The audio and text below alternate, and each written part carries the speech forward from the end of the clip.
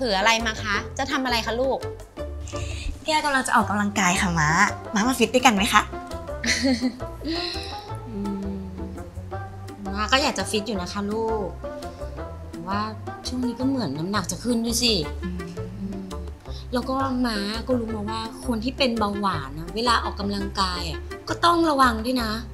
อืมม้าเรากลัวกลัวโอ้ยไม่ต้องเป็นห่วงค่ะม้า แก้วสอนผู้ป่วยประวัติออกกำลังกายมาหลายคนแล้ว มารู้ไหมคะว่าการออกกำลังกายที่ถูกต้องอะยังช่วยในการควบคุมน้ำตาลได้ดีด้วยนะคะ แต่ว่ามาก็ยังกลัวอยู่ดีแหละ กลัวว่าถ้ามาเป็นอะไรไป เราจะไม่มีใครดูแลอากงแทนม้าสิ อะอะไม่เชื่อแก้ว ถ้าอย่างนั้นเราไปฟังผู้ช่วยศาสตราจารย์ ดรสุกัญญาเจริญวัฒนะ อธิบายกันดีกว่าค่ะ ผู้ป่วยเบาหวานนอกจากสามารถออกกำลังกายได้แล้ว การออกกำลังกายเนี่ยยังช่วยควบคุมระดับน้ำตาล แล้วก็ความไวในการตอบสนองของอินซูลินได้ดีด้วยนะคะ เราต้องมั่นใจก่อนนะคะว่าเราสามารถควบคุมระดับน้ำตาลในเลือดได้อย่างปกติ และต้องไม่ลืมตรวจน้ำตาลก่อนออกกำลังกายและหลังออกกำลังกายก่อนด้วยค่ะ ในก่อนที่เราจะออกกำลังกายนะคะ ผู้ป่วยควรที่จะปรึกษาแพทย์ก่อน แล้วก็มีอาจจะต้องมีการปรับลดยา หรือว่าทานอาหารประเภทคาร์โบไฮเดรตก่อนออกกำลังกายนะคะ ซึ่งอาจจะต้องมีข้อควรระวัง แล้วก็เพิ่มขึ้นในเรื่องของข้อ1นงนะคะก็คือถ้าน้ำตาลในเลือดสูงเกินไปเนี่ยต้องปรึกษาเพื่อเพิ่มหรือลดปริมาณอาหาร หรือคาร์โบไฮเดรตก่อนออกกำลังกายนะคะข้อ 2 ก็คือว่าถ้าน้ำตาลเนี่ยในเลือดต่ำต้องปรึกษาแพทย์เพื่อแก้ไขทันทีนะคะ แล้วอีกข้อหนึ่งที่จะต้องทำคือการอบอุ่นร่างกายก่อนออกกำลังกายประมาณ 5 นาทีนะคะ แล้วก็การยืดเหยียดกล้ามเนื้อ หลังออกกำลังกาย 5 นาทีสำคัญมากๆนะคะ ในการที่เราจะต้องมีการอบอุ่นแล้วก็การการยืดกล้ามเนื้อในส่วนของโปรแกรมการออกกำลังกายที่แนะนำให้ทำมี 2 แบบ แบบที่ 1 คือการออกกำลังกายแบบแอโรบิกในระดับปานกลาง ควรทำสัปดาห์ละ 150 นาทีแบ่งเป็น 3-5 ครั้งต่อสัปดาห์ ครั้งละ 30-50 นาที ท่าที่แนะนำจะเป็นท่าที่เกี่ยวกับคาร์ดิโอ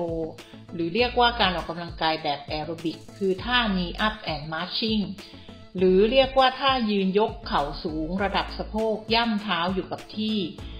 ส่วนแบบที่ 2 จะเป็นการออกกำลังกายแบบใช้แรงต้าน ควรทำสัปดาห์ละ 2 ครั้ง โดยในแต่ละครั้งให้แบ่งทำเซตละ 10-15 ครั้ง และพัก 30 วินาที ทำซ้ำจนครบ3เซตนะคะท่าที่แนะนำมี2ท่าค่ะ คือท่า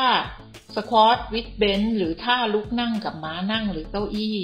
และท่า seated dumbbell bicep curl หรือท่านั่งบนม้านั่งหรือเก้าอี้ แล้วงอแขนค่ะ ซึ่งในส่วนของการออกกำลังกายแต่ละครั้งนั้น ควรจะออกกำลังกายนานประมาณ 20-30 นาทีนะคะ โดยใช้ความหนักแบบน้อยถึงปานกลาง ซึ่งเราสามารถประเมินความหนักของการออกกำลังกายได้ด้วยการพูด หรือที่เรียกว่า talk test นะคะ ก็คือลองพูดในขณะออกกำลังกายนั่นเอง ถ้าเหนื่อยและยังคงพูดได้แสดงว่าเหนื่อยแบบปานกลาง ถ้าพูดได้เป็นคำๆแล้วหยุดหายใจ แสดงว่าหนักมาก อยากให้ผู้ป่วยเบาหวานทุกคนได้ลองดูแลตัวเองด้วยการออกกำลังกายดูนะคะ แต่ก็อย่าฝืนจนเกินไปค่ะ แล้วก็ปฏิบัติตามข้อแนะนำอย่างเคร่งครัดค่ะม้ารักษาระดับน้ำตาลในเลือดได้ดีตลอดแบบนี้ก็ทำได้สินะ ดีเลยม้าชอบเต้นมาก อยากลองเต้นแอโรบิกมานานละว่าแต่